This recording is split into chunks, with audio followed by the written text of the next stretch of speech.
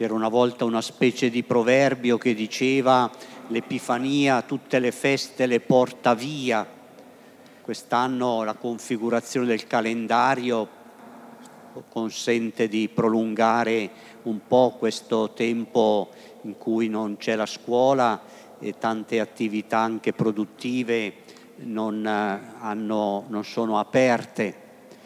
E poi eh, proprio questa sera le comunità orientali, ortodosse, celebrano il loro Natale. Anch'io cercherò di essere una presenza almeno di condivisione.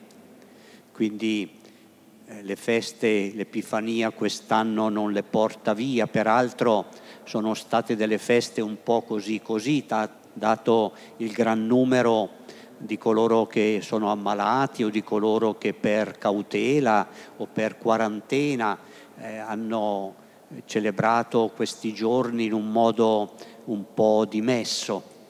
Ecco, allora io desidero invocare la benedizione del Signore perché la festa del Natale, la gioia della manifestazione del Signore possa accompagnarci e sostenerci, soprattutto sostenga coloro che sono malati, soprattutto sostenga i sanitari che sono dedicati con grande sacrificio alla cura dei malati.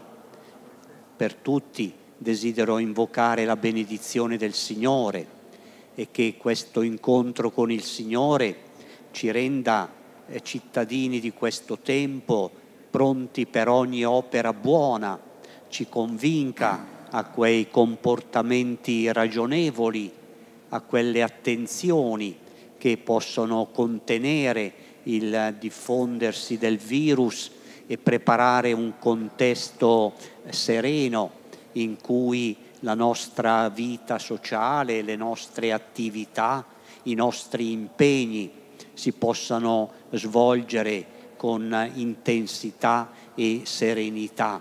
Per tutti invoco la benedizione del Signore.